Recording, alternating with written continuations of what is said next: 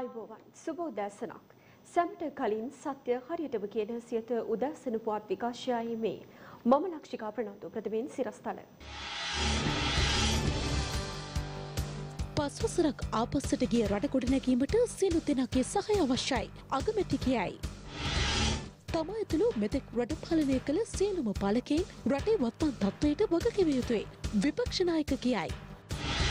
Commit මර්ධන එන්නත්වල මිල ගණන් නිකුත් වේ.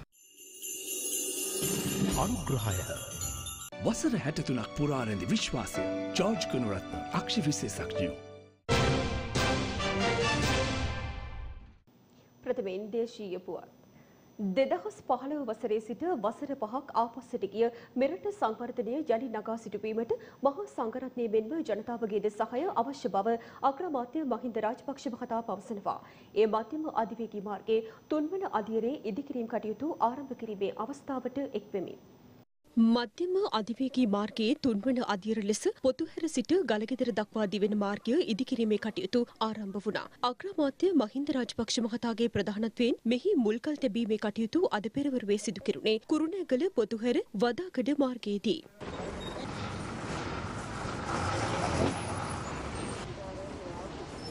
මෙම අවස්ථාවට මහමාර්ග අමාත්‍ය ජොන්ස්ටන් ප්‍රනන්දු ජනමාධ්‍ය අමාත්‍ය කෙහෙලිය රඹුක්වැල්ල සහ රාජ්‍ය අමාත්‍ය නිමල් ලංසායන මහත්තුරුන් ඇතුළු නිලධාරීන් පිරිසක් එක්ව සිටියා. මෙතන මේක අපේ හුඟක් අලක ඉඳලා තිබිච්ච සීනයක් කියලා කිව්වත් නිවැරදි. මම හිතන්නේ කන්ද උඩ රටට ගියාම හැමදාම සියලු දේශපාලඥයෝ මගෙන් අහන්නේ කවදද අපිට අධිවේගී මාර්ගය ලැබෙන්නේ කියලා. ඉතින් ඒ අධිවේගී මාර්ගයේ අපිට දැන් බලාපොරොත්තු තියාගන්න පුළුවන්. අද ආරම්භ වෙලා අවුරුදු කිහිපයක් ඇතුළත අපිට ඒ කාර්යය ඉටු කරන්න පුළුවන්කම ලැබේවි. ඒක සම්පූර්ණ වගකීම් අරගෙන පාර රජයෙන් හදන්න සූදානම් වෙලා තියෙනවා. ඉතින් මේක වැදගත් වෙනවා. මොකද අපි මෙවැනි බාරදූර කාර්යයක් සාමාන්‍යයෙන් කරේ පිටරට කොන්තරාත්කාරයෝ. ඊට පස්සේ එහෙම නැත්නම් ලාංකික කොන්තරාත්කරුවන් බැංක් කෙලින්ම අපිම රජයේම මේ අධිවේගී මාර්ගය හැදීමේ වැඩපිළිවෙල කරන්න සූදානම් වෙලා තියෙනවා. පසුගිය අවුරුදු කාලය තුලදී බලයට පත් වෙලා මේ රටේ විශාල වෙනසක් ඇති කරා. අවුරුදු ගණනාවක් තිබිච්ච යුද්ධය අපි අවසන් කරා. රටේ සංවර්ධනය අපි ආරම්භ කරා. හැම අංශකින්ම මහා මාර්ග විතරක් නෙවෙයි සෞඛ්‍ය ගත්තත් වෙනත් අධ්‍යාපනය ගත්තත් මේ හැම පැත්තකින්ම රටේ සංවර්ධනය අපි ඇති කරා. හැබැයි අපි පසුගිය අවුරුදු පහකදී අපි පැත්තකට කළා අපි පරාජය කරලා පැත්තකට වෙලා ඉන්නවා. ඒ අවුරුදු පහ අපි ආපස්සට ගියා. ඒ ආපස්සට ගිය සංවර්ධනයත් එක්ක තමයි අපිට දැන් ඉදිරියට වැඩ කරන්න වෙලා තියෙන්නේ. ඒකින්ද පස් අවුරුද්දක් පස්සට ගිය සංවර්ධනය දෙදස් පාලුවේ ඉඳලා විශ්ව වෙනකම් අවුරුදු පහක් නැවතිච්ච ගමන අපි ඉදිරියට යන්න ඕන. ඒක තමයි අපිට දැන් තියෙන ලොකුම කාර්යය. ඉතින් මේ தත්ත්වය අපි උදා කරන්න නම් අපි සියලු දෙනාගේ සහාය අපිට අවශ්‍යයි. රටේ ජනතාවගේ සහාය අපිට අවශ්‍යයි. ඒ නිසා ජාතියක් වශයෙන් රටක් දියුණු කරන්න යටිතල පහසුකම් සකස් වෙන්න ඕන. අපි ඒක කරගෙන යනවා. අපිට කරන්න හැකි සියලු කටයුතු අපි අනිවාර්යයෙන්ම සිදු කරමින් තියෙනවා. අපි මේ තියෙන ප්‍රශ්න අඳුරගෙන ඒ ප්‍රශ්න විසඳන්නයි අපේ බලාපොරොත්තු. ඒක නිසා තමුන් වහන්සේලාගේ සහාය අපිට අවශ්‍ය වෙනවා. මහා සංඝරත්නයේ සහාය අපිට අවශ්‍ය වෙනවා. රට තුළ වර්තමානයේ පවතින තත්ත්වයට තම කණ්ඩායම ඇතුළු මෙතෙක් රට පාලනය කළ සියලු පාලකීන් වගකිව යුතු බව විපක්ෂ නායක සජිත් ප්‍රේමදාස මහතා පවසනවා. ඒ වාසනාගම ප්‍රදේශයේදී මාධ්‍ය වෙත අදහස් පළ කරමින්. මේ රටේ පරම සත්‍යයක් තිබෙන. මේ රටේ බිහිවුණු හැම ආණ්ඩුවකින්ම හැම පාලකින් අපි ඇතුළුව රාජ්‍ය පාලනයට සම්බන්ධ වුණු අපි සියලු දෙනා වර්තමාන අපේ රටේ තත්ත්වය පිළිබඳව වග කියන්නට ඕන. දේශපාලන ප්‍රතිවාදීන්ට පමණක් ඇඟිලි දිගු කරන්නේ නැතුව පළමුවෙන්ම කරන්නට ඕන අපි අපිටම ඇඟිලි දික් කරගන්න. ඒ කාර්යයේ මම නියැලී සිටිනවා. කැඩපතක් ඉදිරියට ගිහිල්ලා සිදුවුණු අඩුපාඩුකම් අසාධාරණකම් ඌනතාවයන් මේ හැම දෙයක්ම අවබෝධ කරගෙන අපේ වැරදි නිවැරදි කරගෙන. අපේ වැරදි පිළිබඳව ජනතාවගෙන් සමාවිල්ල. අපි නැවතත් වරක් අලුත් ගමනක් ඔස්සේ පොදු ජනතාවගේ දෙපතුළ ළඟට මේ රටේ අති විශිෂ්ට සංවර්ධන යුගයේ බිහි කරන්නට අපි සැදී පැහැදී සිටිනවා. අපේ ගමන තුල කිසිම විටක කිසිම දවසක පෞල් වාදයට පවුලක් රටේ සියලු දේ පාලනය කරන තැනට ගෙනෙන්නට අපි සූදානම් නැහැ. ගජමිතුරු කණ්ඩායම් වලට මේ රටේ ප්‍රතිලාභ සම්පත් බෙදා ගැනීමේ අවසරය ලබා දෙන්නට අපි සූදානම්. මත්පැන් නිෂ්පාදන බලපත්‍ර සම්බන්ධයෙන් සහ මේ වන විට කතා බහට ලක්වන මාංශ සැකසුම් කර්මාන්ත ශාලාව පිළිබඳව ජනතා විමුක්ති පෙරමුණ රජයෙන් ප්‍රශ්න කර සිටියා.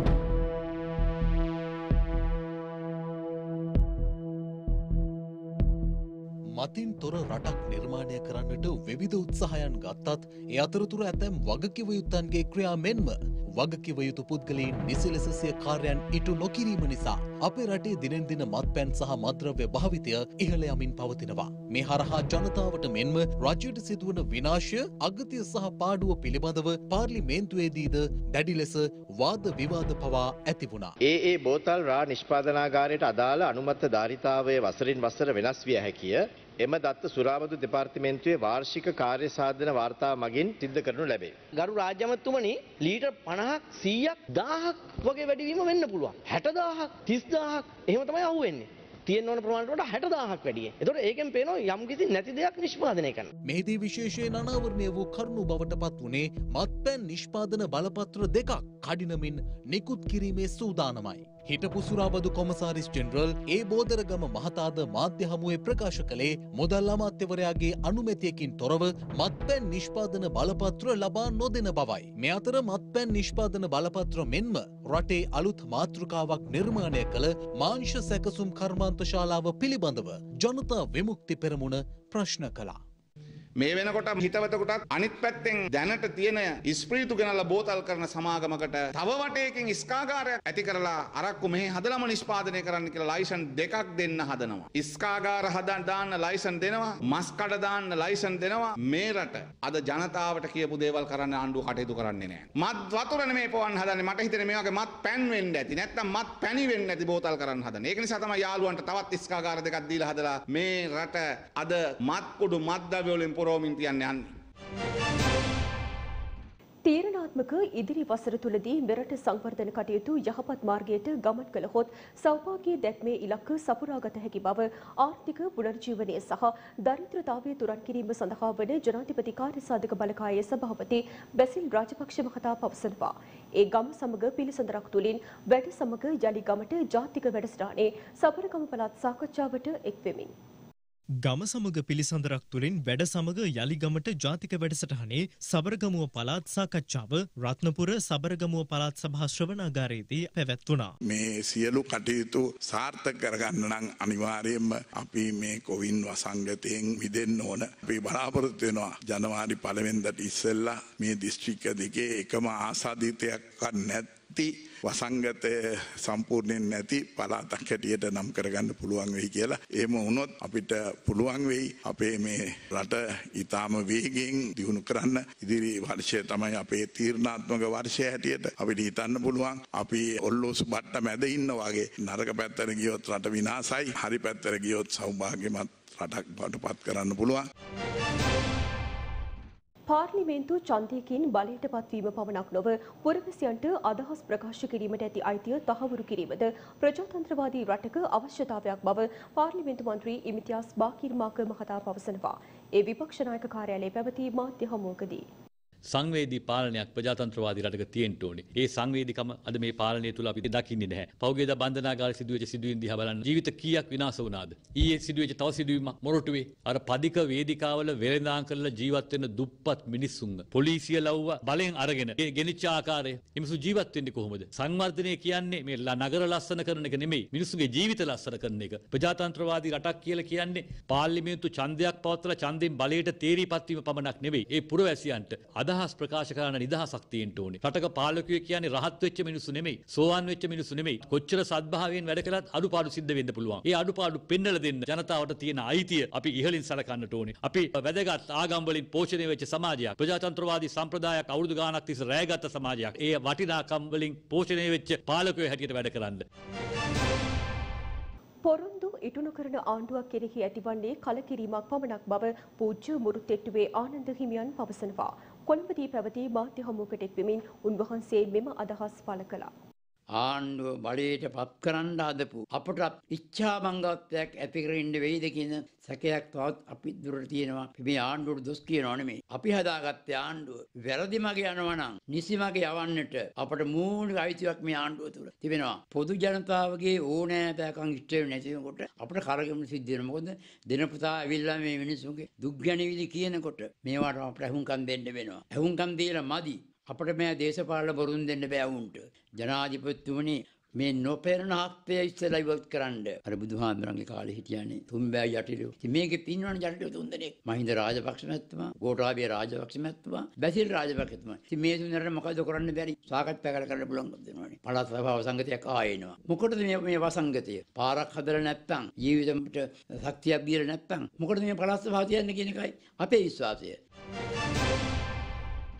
මෙරට කහවගාව ප්‍රවර්තනය වෙමින් පවතින බව අමාත්‍ය රමේෂ් පතිරණ මහතා පවසනවා. ඒ ගාල්ල ප්‍රදේශයේ පැවති මාධ්‍ය හමුවකදී. දැන් මේ රටේ කහ වගාව ප්‍රවර්ධනය වෙමින් තිබෙනවා. ඒ හරහා අපිට වාර්ෂිකව මේ රටෙන් පිටරට ඇදී ගිය රුපියල් කෝටි 150ක පමණ විදේශ විනිමය ඉතිරි කර ගැනීමේ හැකියාවක් ලැබිලා තිබෙනවා. දැන් අප සතුව තිබෙනවා සමහර වෙළඳ පොළට ඉදිරිපත් කරලා තිබෙන සහ මහමග විකුණන කහ මේ අල ඊටාම ලාභාල අවධියේදී ගලවලා තිබෙනවා. මොකද විශාල මුදලක් ලැබෙන නිසා. ඒ ඒ හරහා අපිට ගැටලු දෙකක් මතුවෙන එකක් තමයි ගොවියාට ලබා ගන්න පුළුවන් සම්පූර්ණ ආදායම මගහැරලා යනවා එක පැත්තකින් අනිත් පැත්තෙන් අපිට බීජ සඳහා අවශ්‍ය නිෂ්පාදනය මේ වතාවේ කරගන්න අපහසු වෙනවා. ඒ නිසා අපි තාම ගෞරවයෙන් සහ ආදරයෙන් වගාකරුවන්ගෙන් ඉල්ලා සිටිනවා කහ මාස 9ක් පමණ කාලයක් ගත වෙනවා හොඳින් අල මෝරලා අවශ්‍ය ප්‍රමාණයට වැඩෙන්නට. ඒ නිසා ඊට පෙර ඒක ගලවන්නට එපා කියන ඉල්ලීම අපි කරනවා. එහෙම වුණොත් අපිට මේක වගාවක් හැටියට වඩාත් හොඳින් ඉදිරියට කරගෙන යන්න පුළුවන් වෙන්නේ.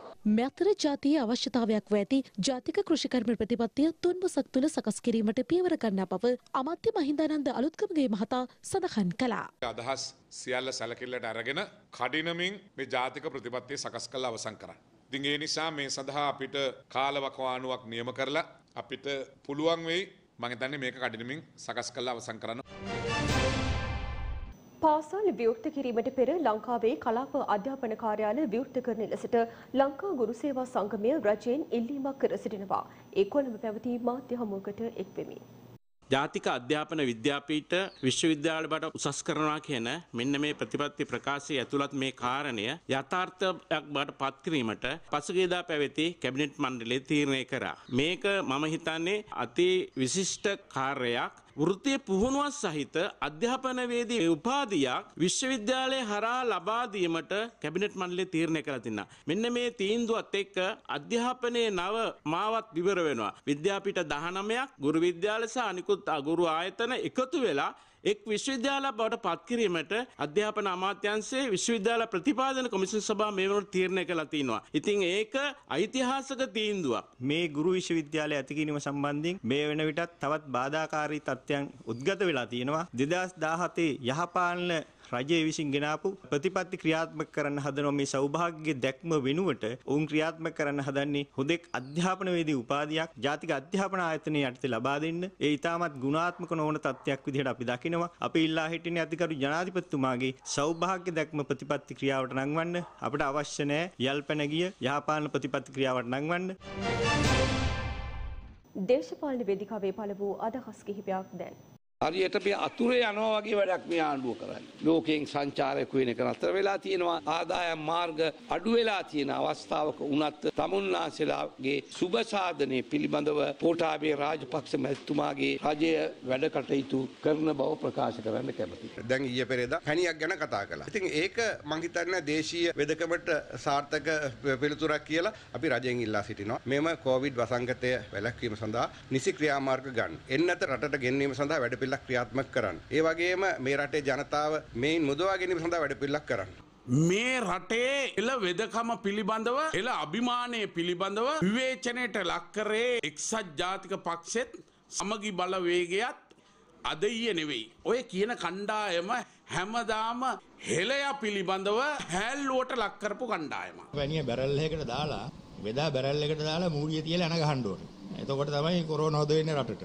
එකම පිළියම හැටියට මම දකින්නේ එච්චරයි. ඒක නැතුව අපේ මිනිස්සු බිල්ලට දෙන්න බෑ. පැණි ඉස්සරහට දාගෙන ගිහිල්ලා ආණ්ඩුවට දැන් පැණි බේරෙන්න පටන් අරන් තියෙන්නේ. තලගොයා කබරගොයා කරන්නත් කබරගොයා තලගොයා කරන්නත් බොහෝම පහසු කණ්ඩායමක් තමයි අද අපේ රටේ ඉන්නේ. ඉතින් රටේ ජනතාව නම් දන්නවා ජනාධිපතිතුමා කවුද රජය ගන්නේ මොකද්ද ඒ ප්‍රතිපත්තිය මොකද්ද කියලා. අයවැයෙන් ඉදිරිපත් කරලා තියෙන සියලුම ඉලක්කම් ඉලක්කම් විද්‍යාවක් කියන සමහර අය ඒගොල්ලොන්ට ඉලක්කම් විද්‍යාව දන්නෙත් නැහැ මොන විද්‍යාව දන්නෙත් නැහැ අන්තිමට ගැල විද්‍යාව තමයි තිබුණේ. ශ්‍රී ලංකා නිදහස් පක්ෂයේ මහලේකම්වරයා කියනවා ශ්‍රී ලංකා නිදහස් පක්ෂයට මේ දැන් ආණ්ඩුවෙන් කෙනෙහිලිකම් තියනවා කියලා. ඇයි මේ නාහෙන් අඬන්නේ? පොදු ජන පෙරමුණේ කිහිලිකරුවක් වෙන්නේ නැතුව කෙලින් තීන්දුව ගත්තනම් අද ශ්‍රී ලංකා නිදහස් පක්ෂය සම්පූර්ණයෙන් එකට එකතු වෙලා ඉන්නවා. අපි ඕවා දැක්කා අවුරුද්දකට එකහමාරකට විතර ඉස්සෙල්ලා. උදැසන පුවත් විකාශය අවසන්. යළිත් හමුවෙමු මධ්‍යහන පුවත් විකාශයත් සමගින් සුබ දවසක්. දිනපතා අලුත් වීඩියෝ සහ ප්‍රවෘත්ති නැරඹීමට ඉහත බටන එක ක්ලික් කර සියත TV සබස්ක්‍රයිබ් කරන්න.